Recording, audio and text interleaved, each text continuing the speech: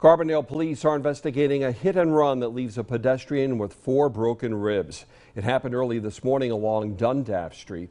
Police say the driver fled the scene, but they later found the suspected hit and run vehicle.